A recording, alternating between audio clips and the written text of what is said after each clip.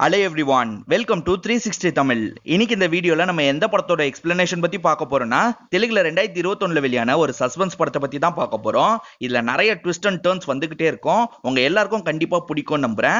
இப்போ time waste பண்ணாம நம்ம படத்தோட ஃபுல் எக்ஸ்பிளனேஷனுக்குள்ளே போயிடலாம் படத்தோட ஸ்டார்டிங் சீனே ஒரு குப்பை கிடங்க காட்டுறாங்க. அந்த இடத்துல பாத்ரூம் போறதுக்காக ஒரு நபர் வர்றாரு. அவர் பாத்ரூம் போகலான்னு உட்காரும் போது தான் அந்த இடத்துல இருக்க ஒரு டெட் பாடியை பார்க்குறாரு கவரால் சுத்தப்பட்ட அந்த டெட் பாடி ரொம்ப மோசமான நிலமையில இருக்கு.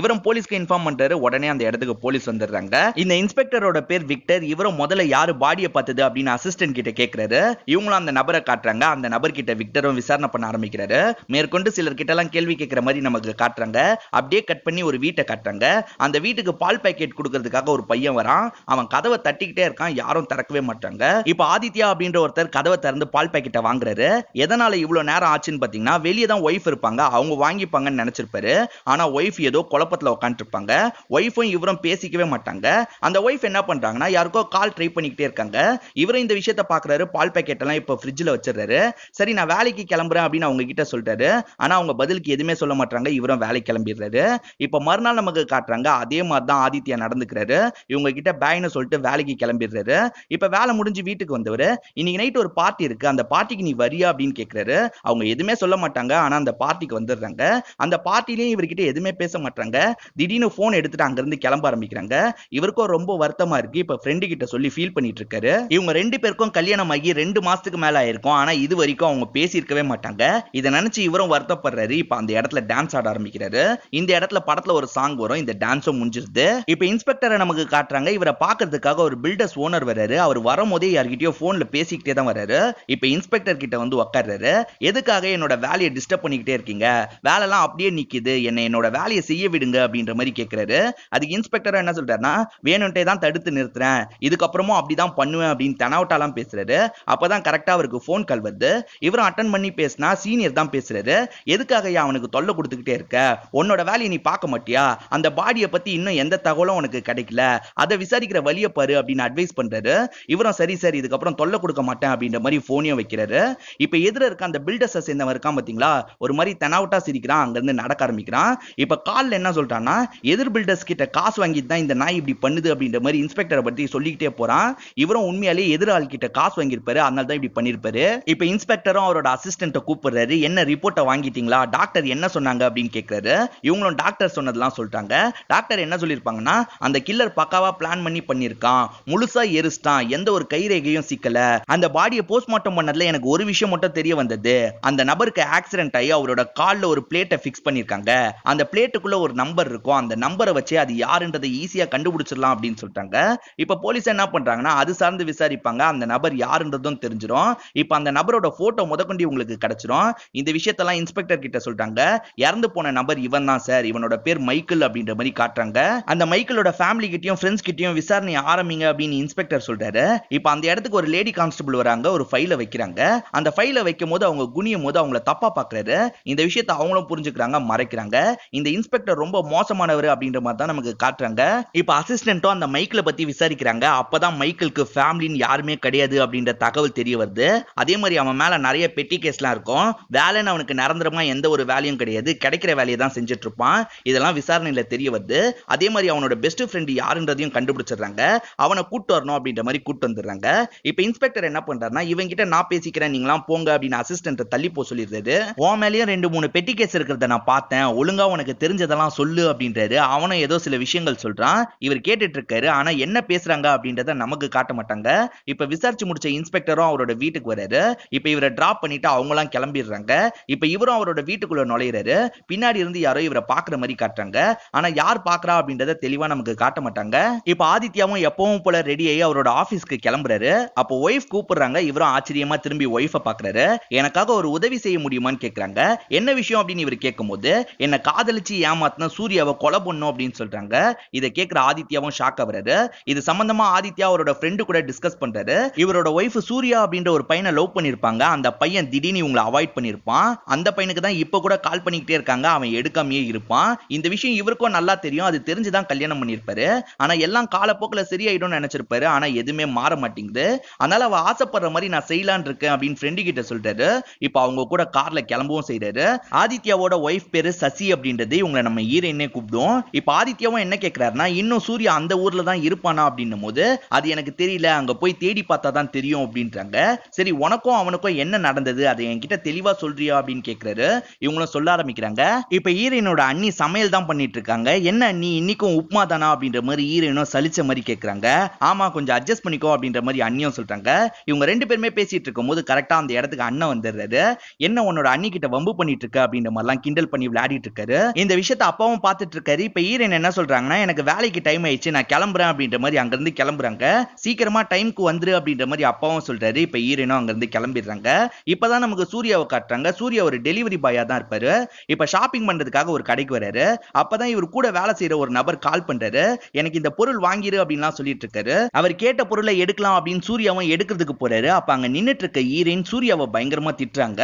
இவருக்கும் காரணம் புரியல. வேகமா ஈரன் கிட்ட வராரு. எதுக்காக என்ன பிடிச்சி திட்டினீங்க? அப்படின்ற மாதிரி இவரும் கண்ட மேனிக்கு அவங்கள திட்ட ஆரம்பிச்சிடுறாரு. அப்பதான் ஈரன் என்ன சொல்றாங்கன்னா நான் இந்த பொண்ணு கிட்ட தான் பேசிட்டு இருந்தேன் அப்படின்னு அங்க இருக்கிற பொண்ணை காட்டுறாங்க. அப்பதான் இவருக்கும் எல்லா விஷயமும் தெளிவா புரியுது. ஐயோ சாரிங்க நான் தெரியாம என்னதான் திட்டுறீங்கன்னு பதிலுக்கு திட்டிட்டேன் அப்படின்னு சொல்லிட்டாரு. இப்ப ஈரனும் டென்ஷன் ஆகி அவரை போட்டு திட்ட ஆரம்பிக்கிறாங்க. இப்ப சூர்யாவும் அந்த இடத்த விட்டு கிளம்பி அவரோட வேலைக்கு வந்துடுறாரு. ஈரன் கூட நடந்த பிரச்சனையை பத்தி அவரோட ஃப்ரெண்டு கிட்ட எல்லாம் சொல்லிட்டு இருக்காரு.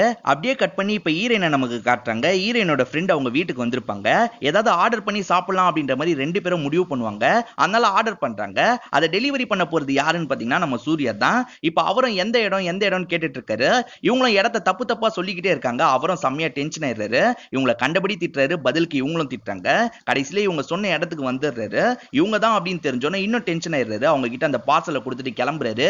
இப்ப ஈரனோட அப்பாவை என்ன பண்றாருன்னா அவரோட ஃப்ரெண்டை வழி அனுப்புறதுக்காக வெளியே வந்து பேசிட்டு இருக்காரு இப்போ ஃப்ரெண்டு கிளம்பி போகும்போது கரெக்டா அந்த இடத்துக்கு ஈரன் வராங்க. இந்த விஷயத்த அண்ணனும் கவனிப்பாரு. எதனால இவ்வளவு லேட் ஆகுது? இதுக்காக தான் இவ்வளவு வேலைக்கெல்லாம் அனுப்ப வேணாம்னு சொன்ன அப்படின்னு அப்படின்ற மாதிரி அப்பா கிட்ட சொல்லிட்டு இருக்காரு இப்ப ஈரனும் கொஞ்சம் கோபமா உள்ள வந்துடுறாங்க. உள்ள வந்த ஈரன் என்ன பண்றாங்கன்னா அண்ணி கிட்ட தான் சண்டை போடுறாங்க. எதுக்காக அண்ணன் என்ன போட்டு திட்டிக்கிட்டே இருக்காரு? எப்ப பாரு இதே தான் சொல்லிட்டு இருக்காரு எனக்கு எவ்வளவு கடுப்பா இருக்கு தெரியுமா? அப்படின்லாம் சொல்லிட்டாங்க. இன்னைக்கு நைட்டு கூட நான் ஃப்ரெண்டு கூட ஒரு ஃபங்க்ஷனுக்கு போலான்னு இருக்கேன் அப்படின்னு அண்ணன் தெரிஞ்சா திட்டுவாரு அப்படின்னு நீங்க எப்படியாவது சொல்லி சமாளிங்க அண்ணி அப்படின்ற மாதிரி இவங்களும் அண்ணி கிட்ட சொல்லிட்டு கிளம்புறாங்க. இப்ப ஃப்ரெண்டு கூட ஃபங்க்ஷன்லாம் முடிச்சு நடந்து வந்துட்டு இருக்காங்க. அந்த ஃப்ரெண்டு என்ன சொல்றாங்கன்னா நான் ஒரு பையனை லவ் பண்ணல. அந்த பையன் என்கிட்ட காசை புடுங்கிறதுக்காக மட்டும் தான் லவ் பண்ணியிருக்கான் அப்படின்னு சொல்லிட்டாங்க. அதனால தான் அவனை அடிச்சிட்டேன் அப்படின்னு சொல்றாங்க.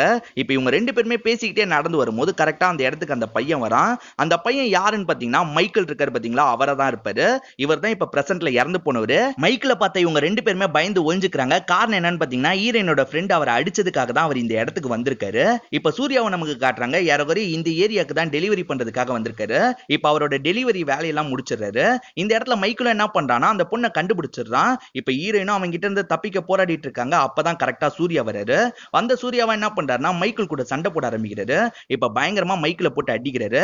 கரெக்டா இந்த சமயம் போலீஸை வர வச்சிருவாங்க. போலீஸும் அந்த இடத்துக்கு வராங்க. இப்ப மைக்கில் அரெஸ்ட் பண்ணி அங்க இருந்து கூட்டு போறாங்க.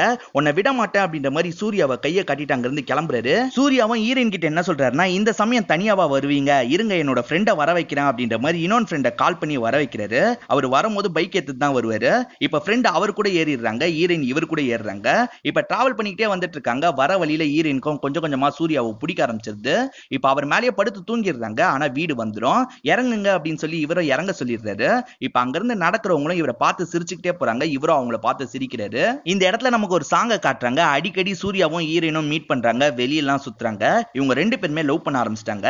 இப்ப சூர்யா ஒரு வாட்டி ஈரனை வெளியே கூட்டு வந்துட்டு இருப்பாரு அப்ப பைக் பிரேக் டவுன் ஆயிடும். இவரும் வேற பைக்ல அனுப்பி வைக்கலாம் அப்படின்ற மாதிரி பைக்கு கிட்ட லிஃப்ட்லாம் கேட்டுட்டு இருக்காரு இப்போ ஒரு பைக்கு கிட்ட லிஃப்ட் கேட்கும் போது அந்த பைக்ல வரது யாருன்னு பாத்தீங்கன்னா ஈரனோட அப்பா தான். இப்ப ஈரனோட அப்பாவும் இந்த விஷயத்த பார்த்து செம்மையா டென்ஷன் ஆகுறாரு. இப்ப வீட்டுல பயங்கரமா அட்வைஸ் எல்லாம் பண்றாங்க இந்த லவ் எல்லாம் வேணாம் அப்படின்ட்டு. ஆனா ஈரன் ஏத்துக்கிற மாதிரி இல்ல. இப்ப அப்பாவும் கடைசியா சரி பையனை பத்தி விசாரிக்கிறேன் அப்படின்ற மாதிரி பையனை பத்தி விசாரிக்க ஆரம்பிக்கிறாரு. அப்பதான் சூர்யா ஒரு அனாதை அப்படின்ற தகவல்லாம் அவருக்கு தெரிய வரும். கண்டிப்பா இந்த லவ் என்னால ஏத்துக்கவே முடியாது. நீ என்ன பண்ணாலும் சரி அப்படின்ற மாதிரி ஈரன் கிட்ட சொல்லிடுறாரு. இதனால ஈரன் என்ன பண்ணுவாங்கன்னா சூர்யா கூட ஓடி போயிடலாம் அப்படின்னு முடிவு பண்ணுவாங்க. சூர்யா கிட்டயும் இந்த தகவலை சொல்லிடுறாங்க. இப்ப அவங்களும் ஆட்டோல அந்த இடத்துக்கு போயிட்டு இருக்காங்க. இப்ப போற வழியில ஃப்ரெண்டு கிட்ட மட்டும் இந்த தகவல் சொல்லலாம் அப்படின்ற மாதிரி ஃப்ரெண்டுக்கு கால் பண்ணி சொல்லிடுறாங்க. ஆனா பயந்த ஃப்ரெண்ட் என்ன பண்றாங்கன்னா குடும்பத்துக்கிட்டயும் இந்த தகவலை சொல்லிடுவாங்க. ஈரனும் சூர்யா வருவா நம்ம கிளம்பிடலாம் அப்படின்ற மாதிரி பஸ் ஸ்டாப்ல வெயிட் பண்ணிட்டு இருக்காங்க. ஆனா சூர்யா வரவே மாட்டாரு அப்பதான் சூர்யா கிட்ட இருந்து ஒரு மெசேஜ் மட்டும் வருது. நான் ஒன்ன லவ் பண்ணல உன்னோட பணத்தை தான் லவ் பண்ணேன். நீ மட்டும் தனியா வந்தா எனக்கு என்ன கிடைக்கும்? அப்படின்ற மாதிரி மெசேஜ் அமைச்சிருக்காரு இப்ப ஃபேமிலியும் கண்டுபிடிச்சு வீட்டுக்கு கூட்டு வந்துடுறாங்க. இப்ப ஃப்ரெண்டு கிட்ட ஹீரோயினும் பயங்கர ஃபீலிங்கா பேசுறாங்க. சூர்யாவை நான் எவ்வளவு லவ் பண்ணேன்னு உனக்கு தெரியும்ல? அவன் எனக்கு இப்படி பண்ணுவான் நான் கொஞ்சம் கூட எதிர்பார்க்கல அப்படின்னு ஃபீலிங்கா சொல்றாங்க. இப்ப இப்ப ஃப்ரெண்டு தான் சமாதானப்படுத்துறாங்க.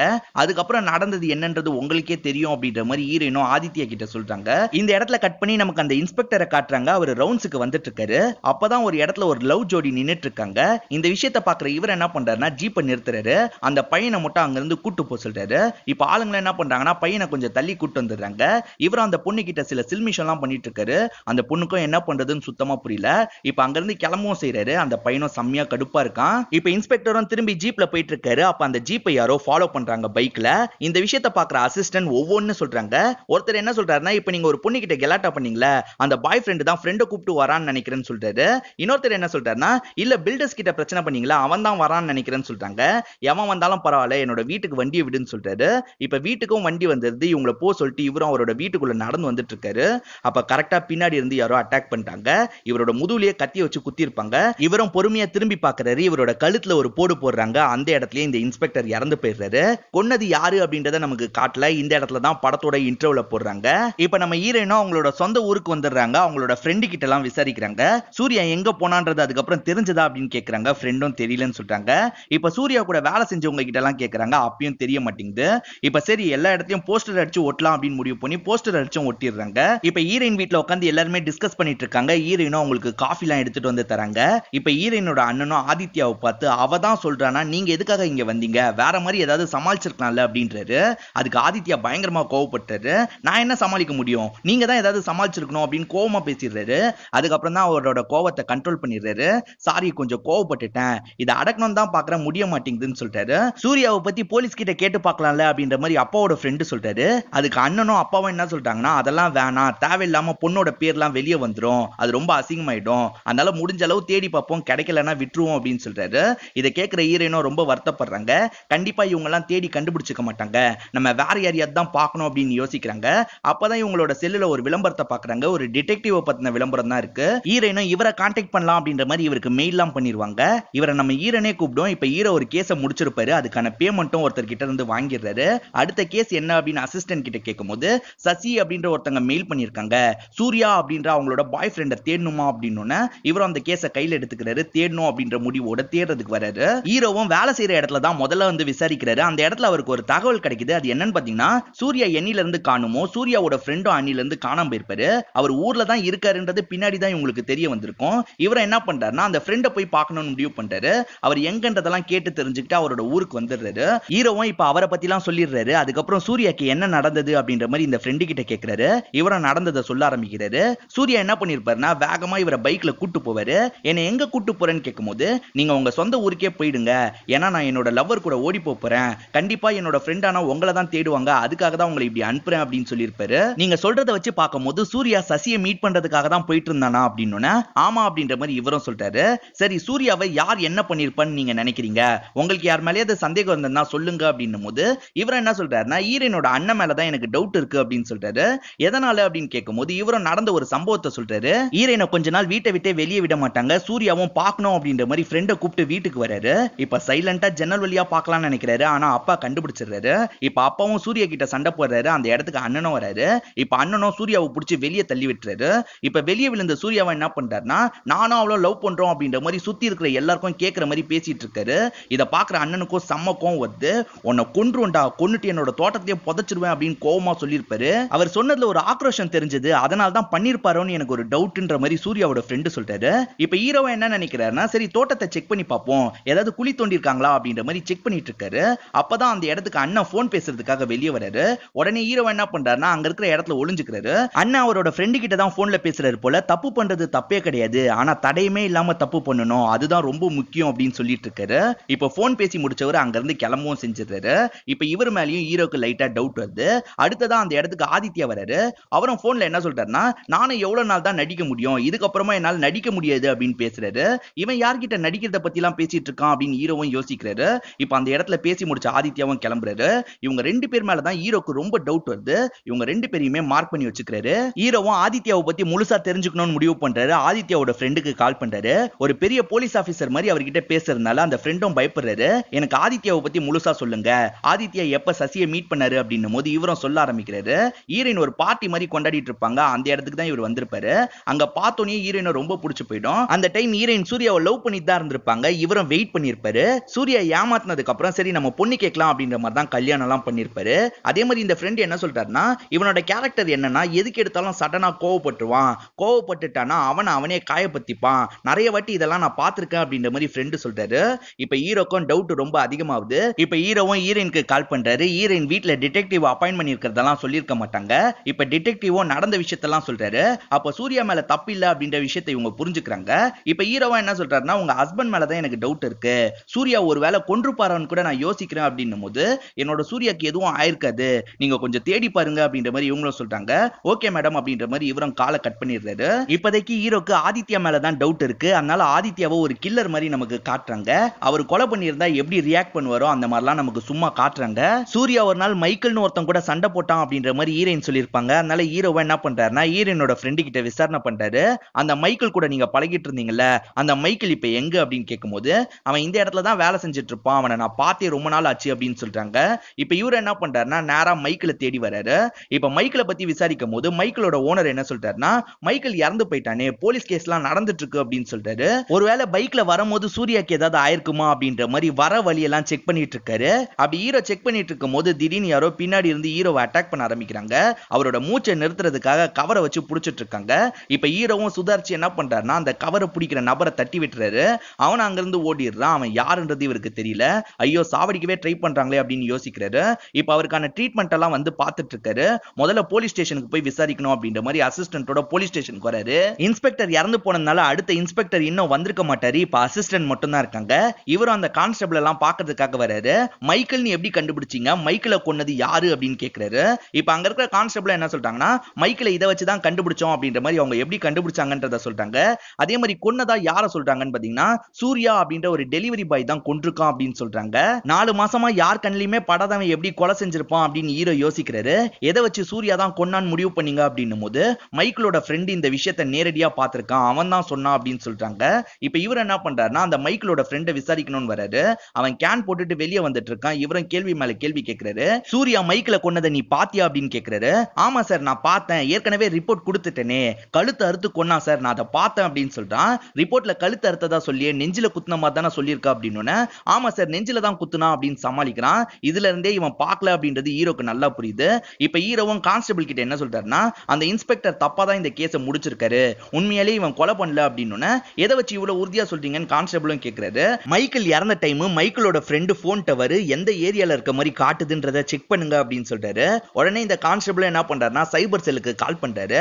அந்த ஃப்ரெண்டோட போன் எந்த இடத்துல டவர் காட்டுது சொல்லுங்க அப்படின்னு அவரும் செக் பண்ணி பாக்குறாரு.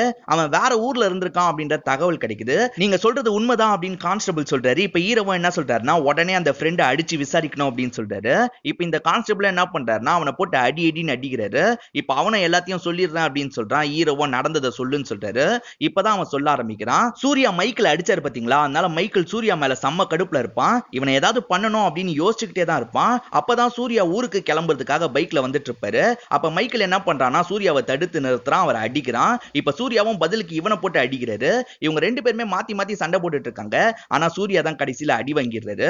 இப்ப சூர்யா அங்கேயே மயங்கி விழுந்துருவாரு. சூர்யாவை மைக்கிள் என்ன பண்றான்னா தனியா ஒரு ஃபேக்டரி மாதிரியான இடத்துல அடைச்சு வச்சிடறான். ஏறவரைய நாற்பத்தஞ்சு நாளுக்கு மேல அங்க அடைச்சு வச்சிருக்கான். இந்த மாதிரியான நேரத்துல தான் சரக்கு அடிக்கிறதுக்காக மைக்கிளோட ஃப்ரெண்டு வருவான். மைக்கிளும் அவனோட ஃப்ரெண்டு கிட்ட எல்லா விஷயத்தையும் சொல்லிடுவான் அதுக்கு ஃப்ரெண்ட் என்ன சொல்றான்னா இவனை ஒன்றரை மாசம் அடைச்சு வச்சு என்ன பிரச்சனைடா உனக்கு காசு ஏதாவது கிடைக்குமா? காசு கிடைக்கிறதுக்கான வேலையை பாரு அப்படின்னு சொல்லும் போது அதுக்கு மைக்கேல் என்ன சொல்றான்னா காசு கிடைக்காம இந்த மாதிரி வேலையெல்லாம் நான் செய்வேனா? இவனை அடைச்சு வச்சிருக்கிறதுக்கும் எனக்கு ஒருத்தர் காசு தராங்க அதனால தான் பண்ணிட்டு இருக்கேன் அப்படின்னு சொல்லிட்டான். யாரா காசு தரது அப்படின்னு ஃப்ரெண்டும் கேட்கும் போது மைக்கேல் அதெல்லாம் சீக்ரெட் அப்படின்னு சொல்லியிருப்பாரு. இந்த விஷயத்தெல்லாம் இப்ப மைக்கேலோட ஃப்ரெண்டும் போலீஸ் கிட்ட சொல்லிடுறான். அப்புறம் எதுக்காக சூர்யா தான் இந்த விஷயத்த பண்ணான்னு போய் சொன்ன அப்படின்னு கான்ஸ்டபிள் கேட்கிறாரு இன்ஸ்பெக்டர் தான் இப்படி பொய் சொல்ல சொன்னாரு. இல்லனா பொய் கேஸ் போட்டுருன்னு சொன்னாரு. அதுக்காக தான் இப்படி சொல்லிட்டேன். சூர்யாவை கடைசியா மைக்கேல் எங்க ஒளிய வச்சிருக்கான் அப்படின்றது கூட எனக்கு தெரியாது.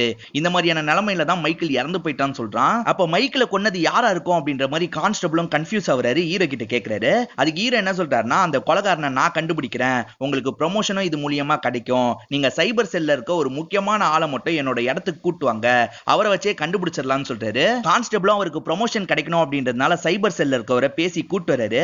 ஆனா அவர் கொஞ்சம் பயப்பட தான் செய்யறாரு காரணம் என்னன்னு பாத்தீங்கன்னா சட்ட ரீதியா இந்த விஷயம் தப்பு தான். இப்ப ஹீரோவும் இவர்கிட்ட என்ன கேக்குறாருன்னா மைக்கேல் சாவறதுக்கு முன்னாடி கடைசியா அவர்கிட்ட அதிகமா பேசினது எத்தனை நம்பர் அப்படின்னு கேக்குறாரு. இவங்க ரெண்டு பேரும் சேர்ந்து செக் பண்றாங்க. நாலு நம்பர் தான் அதிகமா மைக்கேலுக்கு கால் பண்ணி பேசியிருக்கோம். அந்த நாலு நம்பர்ல ஏதாவது ஒரு நம்பர் இந்த கேஸை விசாரிச்சு இன்ஸ்பெக்டர் கிட்ட அடிக்கடி கால் பண்ணி பேசியிருக்கா பாருங்க அப்படின்னு சொல்றாரு. இவங்களும் செக் பண்ணி பாக்குறாங்க. ஆமா ஒரு நம்பர் மட்டும் அடிக்கடி இன்ஸ்பெக்டர் கிட்டயும் பேசியிருக்கு அப்படின்னு அந்த நம்பர் என்னன்றத சொல்லுங்க.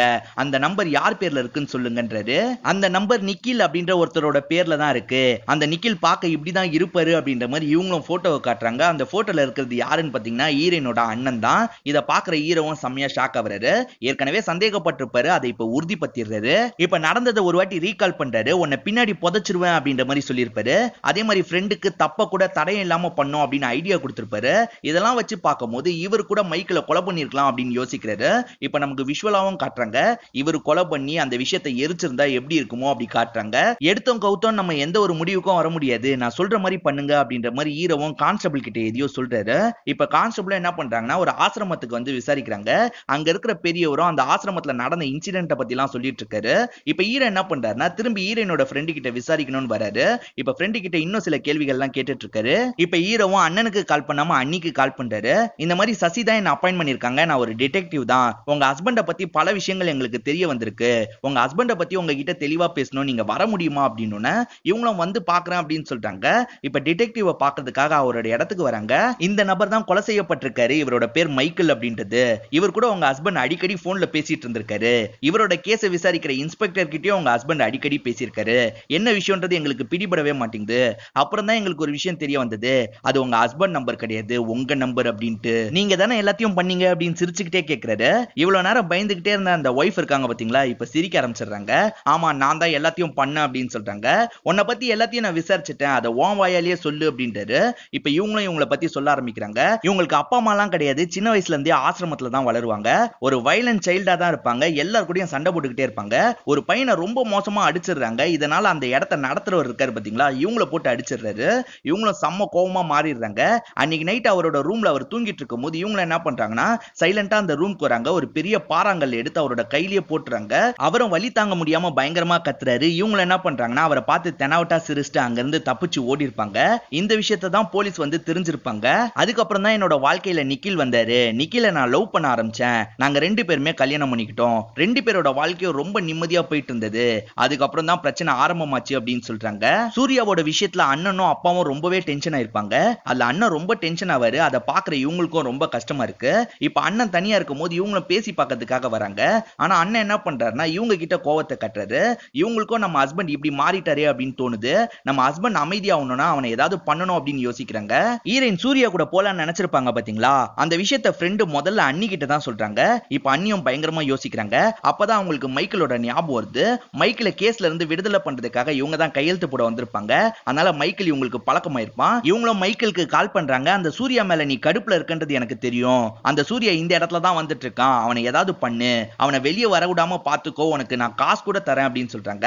இப்ப இவன் என்ன பண்றானா சரி காசு கிடைக்கும் அப்படின்றதுனால சூர்யாவை புடிச்சிடுறான். ஒரு இடத்துல அடைச்சிடுறான். மைக்கிளுக்கு தேவையான காசெல்லாம் அவங்க கொடுத்துருவாங்க. ஆனா மைக்கிள் அடங்குற மாதிரி இல்ல. அடிக்கடி கால் பண்ணி எனக்கு நிறைய காசு வேணும் நிறைய காசு வேணும் அப்படின்னு தொல்லை பண்ணிக்கிட்டே இருப்பான். அவன் ரொம்ப என்ன தொல்லை பண்ணான் அதனால தான் அவனையும் முடிக்கணும்னு நான் முடிவு பண்ணேன். அதனால தான் காசை கொடுக்குறேன்னு சொல்லி ஒரு இடத்துக்கு வர வச்சு அவனை போட்டு தள்ளினேன். அவனோட டெட் பாடியில எந்த ஒரு ட்ரேஸும் கிடைக்கூடாது அப்படின்னு பார்த்து பார்த்து பண்ணேன். ஆனா இன்ஸ்பெக்டரை பொறுத்த வரைக்கும் கேஸ் ரொம்ப சிம்பிள் ஆயிடும். ஏன்னா பிளேட்டை வச்சு ஈஸியா யாருன்றதை கண்டுபிடிச்சிருவாரு யாருன்னு கண்டுபிடிச்சோன்னா கால் லிஸ்ட்லயே இவங்க ஈஸியா மாட்டிப்பாங்க. இவங்களை ஸ்டேஷனுக்கு கொண்டு வந்துடுறாரு.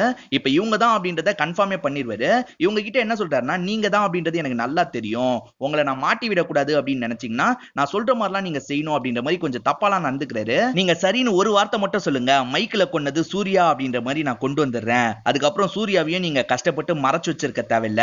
உங்க எல்லா பிரச்சனையும் தீந்துரும் அப்படின்னு சொல்றாரு. இதை கேட்கிற இவங்களும் சரி அப்படின்ற மாதிரி அந்த இன்ஸ்பெக்டர் கிட்ட சொல்லிடுறாங்க. அதனால தான் இன்ஸ்பெக்டர் என்ன பண்ணுவார்னா மைக்கிளோட ஃப்ரெண்டை சாட்சியா வச்சு மைக்கிள கொலை பண்ணது சூர்யா அப்படின்ற மாதிரி கேஸையும் முடிச்சிருவாரு. இவர் கேஸை முடிக்கிறாரான்னு பாக்குற வரைக்கும் இவங்க அமைதியா இருக்காங்க. அதுக்கப்புறம் இவரை முடிக்கணும் அப்படின்ற மாதிரி அன்னைக்கு நைட் வந்து இவரை முடிச்சிருப்பாங்க.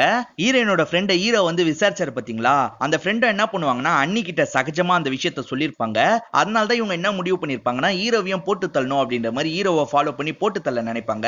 ஆனா ஹீரோ அந்த விஷயத்துல இருந்து தப்பிச்சிருவாரு. அன்னைக்கு தப்பிச்சிட்டேன் ஆனா இன்னைக்கு தப்பிக்க மாட்டேன் அப்படின்ற மாதிரி இவங்களும் சடனா கத்தி எடுத்து அவரோட கழுத்தை அறுக்கிறதுக்காக போறாங்க. ஆனா ஹீரோ உசாரா இருப்பாரு அவரு பிடிச்சிடுறாரு. உன் கதெல்லாம் என்கிட்ட நடக்காது அப்படின்னு சொல்றாரு. போலீஸ் டீம் மொத்தமும் வெளியே தான் இருக்கும். இப்போ அவங்களும் உள்ள வந்துடுறாங்க. அண்ணி அங்க இருந்து கூட்டு போறாங்க.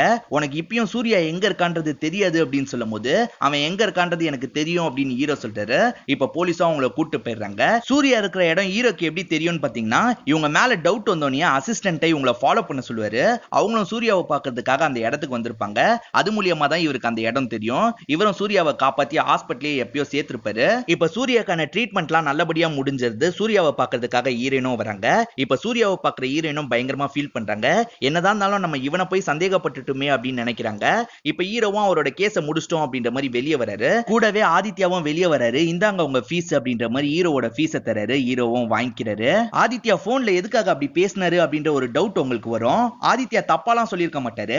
சூர்யாவை இன்னும் தேடுற மாதிரி என்னோட ஒய்ஃப் கிட்ட என்னால நடிக்க முடியல அப்படின்னு தான் ஃப்ரெண்டு கிட்ட சொல்லியிருப்பாரு. ஹீரோ இந்த கேஸை முடிச்சு கொடுத்ததுனால அந்த கான்ஸ்டபிளுக்கும் ப்ரொமோஷன் கிடைக்குது. அவரும் ரொம்ப சந்தோஷப்படுறது இதோட இந்த படம் முடியுது. இந்த படம் உங்க எல்லாருக்கும் பிடிச்சிருக்கும் நம்புறேன். இந்த வீடியோ உங்களுக்கு பிடிச்சிருந்ததுன்னா லைக் பண்ணுங்க கமெண்ட் பண்ணுங்க. மறக்காம த்ரீ சிக்ஸ்டி தமிழ் சேனலை சப்ஸ்கிரைப் பண்ணுங்க.